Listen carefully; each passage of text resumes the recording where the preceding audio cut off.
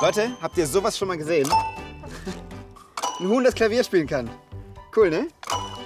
Das ist Oreo. Und Oreo ist natürlich kein normales Huhn, sondern so eine Art tierischer Schauspieler.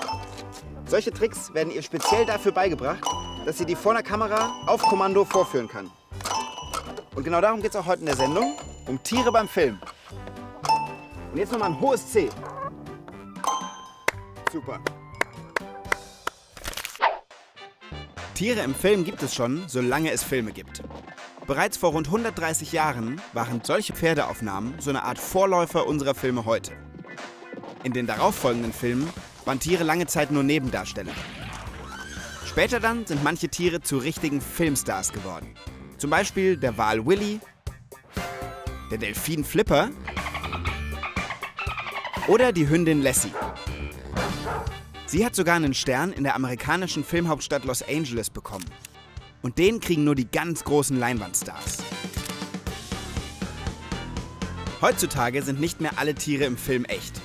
Oft sind sie am Computer entstanden oder als Modell nachgebaut. Die meisten von ihnen können sogar sprechen. Ich habe auch schon mal einem Tier meine Stimme geliehen. Der Giraffe aus dem Film Mein Freund die Giraffe. Hört mal. Mm, mm, lecker. Der Haferbrei war echt lecker. Ich lerne heute einen tierischen Filmstar kennen. Und zwar den Hauptdarsteller der Serie Racco, ein Hund für alle Fälle. Darin geht es um die tiefe Freundschaft zwischen Flori und dem Hund Racco. Racco und seine Tiertrainerin Pamina darf ich bei den Dreharbeiten begleiten. Dabei kläre ich, was ein Filmhund alles können muss und helfe bei der Drehvorbereitung. Außerdem besuche ich eine Filmtier-Ranch. Dort werden nämlich noch ganz andere Tiere zu Filmstars ausgebildet. Und ich checke, wie man mit gefährlichen Tieren dreht. Also, alle bereit? Hier kommt der Filmtier-Check. Stimmt's? Ja. Und jetzt die Checkerfragen. Können alle Hunde Filmstars werden? Wie dreht man mit gefährlichen Tieren? Und wie lernen Hühner Klavier spielen? Das check ich für euch. Ich bin heute am Set der Fernsehserie Racco, ein Hund für alle Fälle. Die handelt von Flori, der mit seiner Mutter von der Großstadt aufs Land zieht. Dort trifft er auf den draufgängerischen Vierbeiner Racco. Die beiden werden schnell Freunde und erleben gemeinsam wilde Abenteuer. Racco, spinnst du? Die Serie spielt auf einem Bauernhof bei Miesbach in Bayern. Gerade dreht das Filmteam eine Szene, in der Racco auf Kommando auf allen Vieren auf eine Bank zukriecht. Die Kommandos gibt Tiertrainerin Pamina. Und von der will ich wissen, ob nur Filmhunde wie Racco sowas können oder alle Hunde. Checkerfrage. Können alle Hunde Filmstars werden? Hallo, Pamina. Hallo. Und das ist Racco wahrscheinlich, oder? Ja, das ist Racco, der heißt aber im echten Leben Chewbacca. Chewbacca. Okay. Also wie bei Schauspielern auch. Er heißt im Film Racco, das ist quasi sein Rollenname. Aber im echten Leben ist der Schauspielhund Chewbacca. Genau, ja. Okay. Chewbacca, hallo. Schön, dich kennenzulernen. Ja. Könnte denn jeder Hund von dir zu einem Filmhund ausgebildet werden oder ist Chewbacca einfach ein besonders intelligenter Hund? Der Hund muss unerschrocken sein und Mhm. darf nicht scheu sein, darf keine Mhm. Angst vor fremden Menschen haben und muss einfach auch Spaß bei der Sache haben. Und wenn das gegeben ist, dann kann man aus fast jedem Hund einen Ja? Filmhund machen, ja. Okay. Sag mal, was zeichnet ihn denn jetzt aus als Filmtier? Was kann er denn, was ein, sag ich mal, normaler Haustierhund nicht drauf hat? Also der Chewbacca muss für diese Serie sehr viele verschiedene Tricks ähm, können. Mhm. Zum Beispiel ganz viele Sachen den Schauspielern bringen. Danke, Racco. Oder er klaut Würstchen. Hey! Für seine Rolle muss Racco aber noch viel mehr können. Kannst du mal was zeigen? Kannst du ihn mal auf Kommando bellen lassen zum Beispiel? Chewbacca, gib laut. Ja, laut. Wow. laut. Wow. Aber wenn ich das jetzt alleine machen würde, würde es wahrscheinlich nicht funktionieren, oder? Probier's mal. Geblaut. Geblaut. Ja, sehr gut. Der Oberhundetrainer. Aber das hat er jetzt schon nur gemacht, weil du das schon lange mit ihm geübt hast, oder? Also wenn ich das einfach so mit ihm jetzt probiert hätte, wäre es wahrscheinlich nicht gegangen. Ja, also ein Hund muss immer erst ein Kommando lernen, Ja. ähm, damit er auch weiß, ähm, ja, wie das funktioniert und was er zu tun hat. Heute steht für Racco eine besonders wichtige Szene an. Er und Flori sehen sich nach langer Zeit wieder. Dafür gehen Racco, Pamina und ich jetzt auf der Wiese üben. Was trainieren wir denn jetzt? Chewbacca soll lernen, dich auf Kommando anzuspringen und dir quasi in die Arme zu springen und sich über dich zu freuen. Und das ist für Chewbacca schwierig, weil er mich eigentlich noch nicht so gut kennt, ne? Nehme ich Genau, an. ja. Also er ähm, springt dich jetzt nicht an, weil ihr beste Freunde seid und er dich riesig vermisst hat. Ja. Ihr habt euch ja gerade erst kennengelernt. Ja. Mhm. Das heißt, es soll aber so aussehen. Das heißt, wir werden jetzt mit verschiedenen ähm, Spielzeugen ausprobieren, was er davon am liebsten mag. Ja. Und ähm, dann mal gucken, ob er dich deshalb auch anspringt und umarmt. Und so könnte dann Chewbacca wirklich auch ähm, schauspielern, ne? Also für die Kamera sieht es so aus, als würde er zu mir springen, aber eigentlich ist es nur das Spielzeug. Genau. Pamina zeigt Chewbacca ein Spielzeug, das er mag und macht ihn richtig heiß drauf. Guckt mal, jetzt lässt er auch bei mir das Spielzeug nicht mehr aus den Augen. Wenn ich mir das jetzt auf die Schulter lege, müsste er eigentlich auch an mir hochspringen und es sich holen. Hol's dir. Hopp. Super! Das hat schon geklappt! Yeah, Habt ihr gesehen? Es sah fast schon so aus, als würde er sich über mich freuen.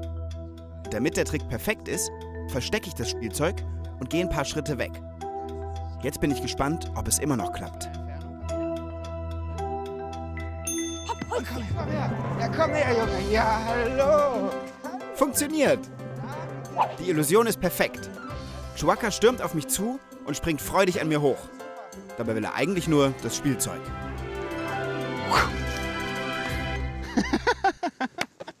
Der ist so cool. Hunde müssen beim Lernen Spaß haben. Haben wir ja gerade bei Racco gesehen. Der Trick dabei, die Tiere werden belohnt, wenn sie was richtig machen. Entweder mit einem Spielzeug oder mit einem Leckerli.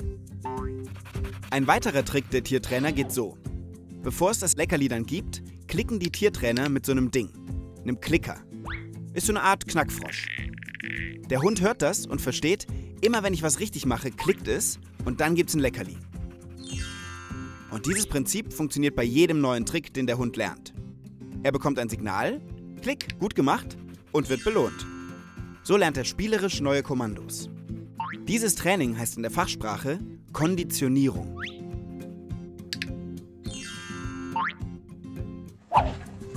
Und so sieht das am Set aus. Racco soll auf Kommando mit Flori mitlaufen und macht alles richtig. Danke aus. Pamina klickt und belohnt ihn sofort mit einem Leckerli.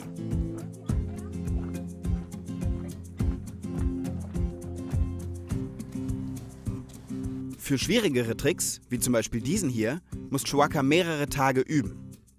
Und für eine Hauptrolle trainiert ein Hund dann schon mal zwischen ein bis zwei Jahre. Fast alle Hunde können Filmstar werden. Sie sollten allerdings keine Angst vor Menschen haben und gerne neue Tricks lernen. Gecheckt. Leute, ich bin jetzt auch unter die Tiertrainer gegangen. Und ich bin der Erste auf der Welt, der es geschafft hat, einem Wal das Sprechen beizubringen. Gut, ne? Zeigen wir euch jetzt. Wolfgang, wie wir es geübt haben, ne? Den einen Satz in die Kamera, jetzt die Mitmachfrage. Los geht's. Du kannst, die Kamera läuft. Los geht's, Wolfgang. Zeig's ihm. Wolfgang. Sorry. Ich verstehe es nicht. Wir konnten das doch so gut. Du bist so eine Diva geworden. Du machst überhaupt nicht mehr, was man dir sagt. Und jetzt eine Frage an euch. Wer denkt sich Tricks für Filmtiere aus? A. Schauspieler, B. Drehbuchautoren oder C. Kameraleute?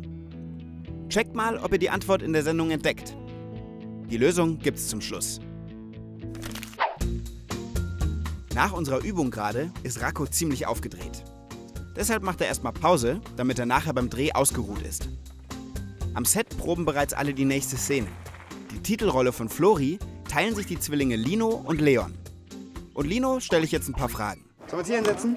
Okay. Okay. Du hast ja jetzt schon öfter in Filmen mitgespielt.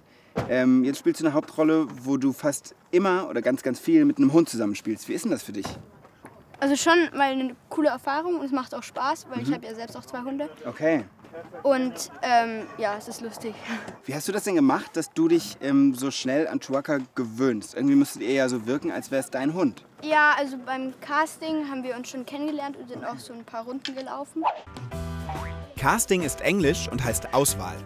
Also in unserem Fall von menschlichen und tierischen Schauspielern. Wenn sich Lino und Chewbacca beim Casting nicht verstanden hätten, hätte entweder das Tier oder der Schauspieler ausgetauscht werden müssen. Aber zum Glück hat es bei den beiden gleich gefunkt. Wie ist denn das, wenn jetzt dann nächste Woche hier Schluss ist? Meinst du, vermisst ihn? Ja, also es ist schon nett. Ja. Aber hast noch nicht das Gefühl, das wäre dein eigener. Und du willst ihn eigentlich mit nach Hause nehmen. Nach Hause nehmen, klar, aber es ist nicht mein eigener. Okay. Gut, ich glaube, es geht gleich weiter. Danke dir. Gehen wir wieder runter. In der Serie spielt Ines die Mama von Flori. Bin gespannt, wie sie mit Chewbacca zurechtkommt. Wie ist es denn für dich, mit einem Tier zu drehen? Mit einem Tier, das so eine Hauptrolle auch spielt? Also erstens mal muss man als Schauspieler noch viel, viel konzentrierter sein als sonst. Also man darf wenig rumblödeln und eigentlich auch nicht laut sein, sondern ganz leise. Und man darf ja nicht am Set essen, man darf auch kein, nicht so Parfüm tragen und die Maskenfrauen dürfen nicht so rumsprayen mit dem Haarspray, wenn er in der Nähe ist. Okay, wieso ist das so? Weil er das halt riecht und ihn das ablenkt. Das heißt, du musst dich schon ganz schön zusammenreißen jetzt. Man muss halt wirklich hochkonzentriert sein, weil das wäre schlimm, wenn der Hund es gut gemacht hat, man selber aber einen Hänger hat oder einen Versprecher. Das wäre richtig blöd. Ja, klar. Ja. Das heißt, die Konzentration am Set ist, wenn Tiere dabei sind, eigentlich bei allen höher. Und alles kommt darauf an, dass man den Moment hinkriegt, wo menschliche Schauspieler und die tierischen Schauspieler alles richtig machen. Genau. Guckt mal, laute Sachen wie zum Beispiel Auto umparken machen sie, wenn Racco nicht da ist. Und auch die Proben finden erstmal ohne Hund statt. Danach dreht das Team von Regisseur Uli alle Einstellungen, in denen man den Hund gar nicht sieht. Dafür verwenden sie einen Doppelgänger aus Stoff. Der steht hinter der Kamera. Die seht ihr gerade nicht, die hält Kameramann Eugen. So wissen die Schauspieler, wo später in der Szene Racco steht und gucken automatisch in die richtige Richtung. Guter Trick, ne? So, der Stoffdoppelgänger wird weggeräumt. Denn jetzt ist es soweit. Chewbacca kommt ans Set und verwandelt sich in Racco. Und guckt mal, jetzt hat Flori das Spielzeug für die Begrüßungsszene unter seinem Shirt versteckt. So wie ich bei der Probe vorhin. Und dann geht's auch schon los. Racco soll Flori freudig begrüßen. Genau wie mich vorhin. Hm, aber so richtig gut klappt das noch nicht. So wie die Schauspieler müssen auch Tiere manche Szenen mehrfach drehen, bis es sitzt. Und jetzt guckt mal, so sieht die fertige Szene im Film aus.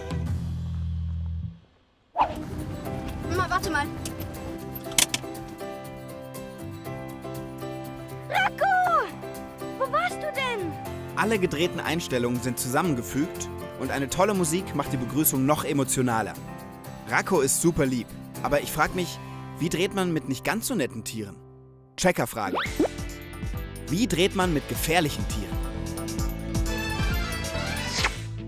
Neben normalen Haustieren, wie zum Beispiel Hunden oder Katzen, sieht man in Film und Fernsehen ja immer wieder auch exotische Tiere, von denen manche echt gefährlich sein können. Schlangen zum Beispiel. Oder Krokodile. Haie. Löwen. Oder Spinnen. Wow! Ah. Na gut, die ist nicht echt.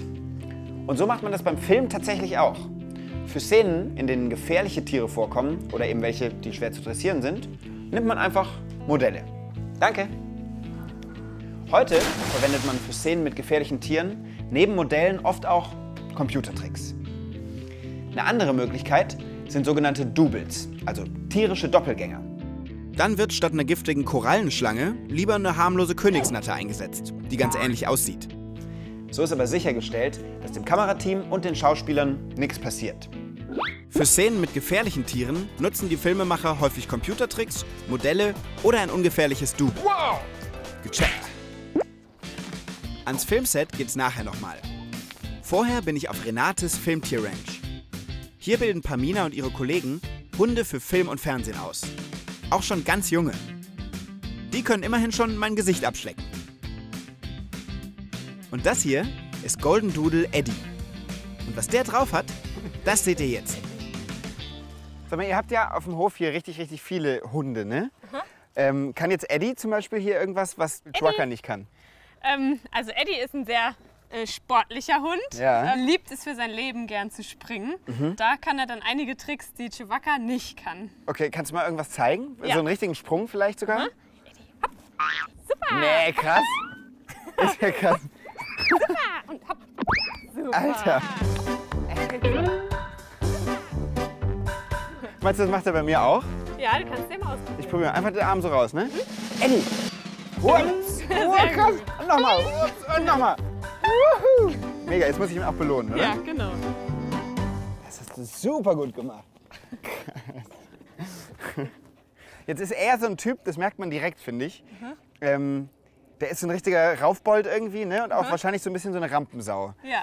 Was wäre denn so eine Action-Szene, die er als sportlicher Hund in einem Film super spielen könnte? Zum Beispiel. Ähm, also Eddie könnte zum Beispiel gut Verbrecher stellen, indem er Okay. sie von hinten anspringt. Nee. Ja. Okay, wir gucken zu. Sitz. Bleib. Oh, jetzt bin ich gespannt. Und hopp. Wow! Verbrecher gefasst. Super. Sau gut. Also, also in dem Film hätte der jetzt quasi noch irgendwie in deine Kapuze gebissen oder sonst irgendwas. Auf jeden Fall den Gegner Ja, und der hinten. Verbrecher wäre zu Boden Ah, gefallen na und klar. er hätte ihn. Ja. Was wären denn so Grenzen? Wo hört es denn wirklich auf, dass man sagt, sowas kann man einem Hund dann auch nicht mehr beibringen?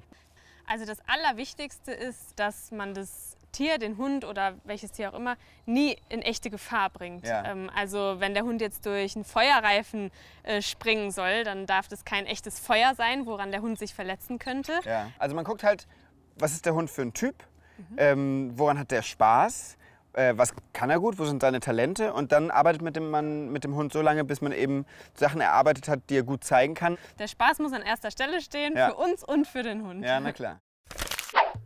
Nicht alle Menschen finden es gut, dass in Film und Fernsehen echte Tiere vor der Kamera stehen. Die Kritiker sagen, Für die meisten Tiere ist der ganze Trubel beim Dreh großer Stress. Und manche Szenen können für die Tiere auch echt gefährlich sein. die Befürworter wiederum sagen, Aber die Tiertrainer entscheiden doch schon vor den Dreharbeiten, ob Szenen zu gefährlich sind. Und lehnen sie dann ab. Und beim Dreh passen sie immer auf die Tiere auf. die Kritiker wiederum sagen dazu, hm, das stimmt vielleicht für die Dreharbeiten. Aber vielleicht wurden die Tiere ja beim Training in den Monaten davor schon gequält. Außerdem können doch Tierbilder heutzutage am Computer voll leicht hergestellt werden. Und man braucht gar keine echten mehr. Ja, schon, sagen dann die Befürworter. Aber nichts ist so echt wie echte Tiere. Und Computertricks sind richtig teuer. Außerdem lernen Tiere doch voll gern und haben oft viel Spaß dabei. Und so weiter. Fest steht, in Deutschland gibt es strenge Regeln, damit Tiere bei Dreharbeiten geschützt sind. Und das ist auch richtig so. Denn egal wie gut ein Film ist, kein Tier darf dafür leiden. Auf der Ranch gibt es noch viele andere Tiere, die bei Film und Fernsehen arbeiten. Zum Beispiel Ziege Heidi, die Schafe Mona und Lisa und dieses Schwein hier. Rollt ihr mir einen roten Teppich aus? Ja. Hallo, wer bist denn du? Super, schau mal. Ist ja Das krass. ist die Motte. Danke, Motte. Und das hast du ihr beigebracht, oder was? Ja, also nicht jetzt gerade, den Trick kannte sie schon, aber ja, das haben wir ihr gelernt. Dann laufe ich jetzt auch meinen äh, Begrüßungsteppich lang. Ja, Motte, Mo- komm mal her. Machst du Platz? Motte, komm. Sau cool. Aber jetzt sag mir mal kurz bitte, warum muss ein Schwein lernen, wie man einen Teppich ausrollt? Ähm, ja, manchmal sind im Film ja ganz verrückte Sachen gefragt. Mhm. Ähm, und dafür müssen Schweine dann eben lernen, Schubladen aufzumachen, Teppiche auszurollen, sich hinzusetzen wie ein Hund. Wer denkt sich denn solche Sachen eigentlich aus, was die Tiere können müssen? Also das machen ähm, in der Regel nicht wir, ähm, sondern die Drehbuchautoren. Okay, also die Person, die sich beim Film die Geschichte überlegt und dann eben auch weiß, ich brauche in meinem Film ein Schwein, das einen Teppich ausrollt. Ja, das passiert aber immer in Absprache mit uns. Das heißt, wenn die sich ausdenken, hey, das Schwein soll den Teppich ausrollen oder die Schublade aufmachen, dann fragen sie uns, ob das Tier das denn auch machen kann, ob wir das dem Tier beibringen können. Und dann machen wir das. Motte trainiert gerade auch Slalomlaufen. Das funktioniert ähnlich wie bei Hunden. Mit viel Futter als Belohnung und ganz viel Geduld. Schweine sind nämlich ziemlich stur. Sau gut. High Five kann sie nicht, ne? Nee. Okay, bei Hunden und Schweinen kann ich mir jetzt vorstellen, wie die Tricks lernen. Aber erinnert ihr euch noch an das Huhn vom Anfang der Sendung? Das konnte Klavier spielen. Und wie das geht, kläre ich in meiner letzten Checkerfrage. Wie lernen Hühner Klavier spielen? Also Hühner sind sehr neugierig und entdeckungsfreudig. Ja. Ähm, und wenn wir jetzt einem Huhn beibringen wollen, äh, Klavier zu spielen, dann ähm, stellen wir das Klavier vor das Huhn ab und warten, Ja. was passiert. Aha. Und das Huhn wird hingehen und vielleicht mal dran picken. Und in dem Moment klicken wir und das Huhn bekommt seine Belohnung. Ah, wie beim Hund. Genau. Okay. Und was für ein Lied ist das eigentlich, was ihr da spielt? Na, rat mal. Das ist was ganz Besonderes. Das Hühnerlied, ne? ja, Na klar. sehr gut erkannt. Eine richtige Melodie kann das Huhn nicht lernen. Aber auch da hilft ein Fernsehtrick. Wir legen einfach andere Töne unter die Szene und schon spielt Oreo. Na, welchen Song? Richtig. Alle meine Entchen. Beziehungsweise alle meine Hühner. Gut, ne? Hühner hauen aus Neugier von ganz alleine auf die Tasten. Mit Belohnung machen sie es dann immer wieder. Gecheckt. Ich bin jetzt nochmal am Set von Racco, ein Hund für alle Fälle. Gleich wird die letzte Szene für heute gedreht. Und dann sagst du einfach zweimal Wow. Ja? Ruhig deutlich. Ich bürste ihn noch schön. Und dann geht's für Racco ans Set. Dort muss er nämlich gleich was echt Schwieriges spielen. Und das hat was mit dieser Wurst zu tun. Der Racco wird mit der Wurst geködert und soll in dieses Auto reinspringen. Und ähm, ja, jetzt holen wir den Chihuahua, dass er sich die Szene auch mal angucken kann. Wir das einmal mit ihm durchüben. Und dann dreht ihr. Ja. Pamina hat Chewbacca durch Konditionierung im Training beigebracht, dass er nicht in die Wurst an der Schnur beißt. Das würden Hunde normalerweise tun. Sondern ihr nur nachläuft. Also Racco, zeig, was du kannst.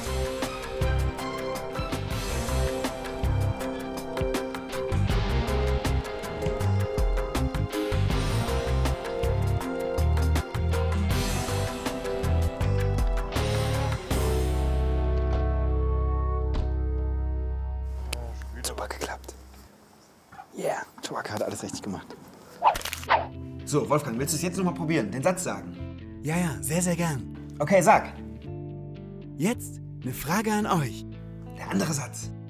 Jetzt die Checker-Fragen. Nein, Mann, der andere Satz. Wir haben doch geübt.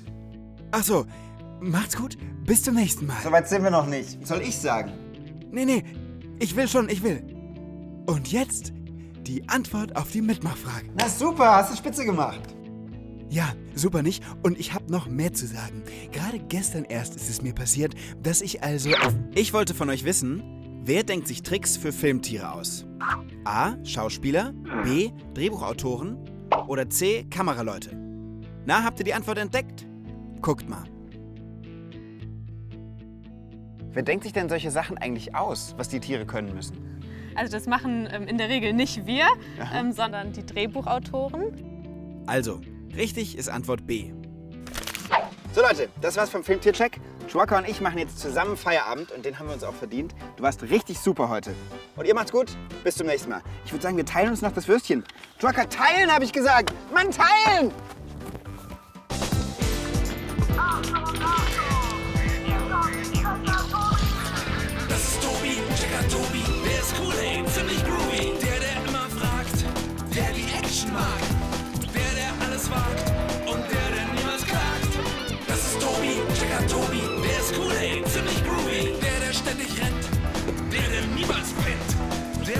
Manchmal flinnt und der tausend Leute kennt. Das ist Tobi, Checker Tobi, Checker Tobi!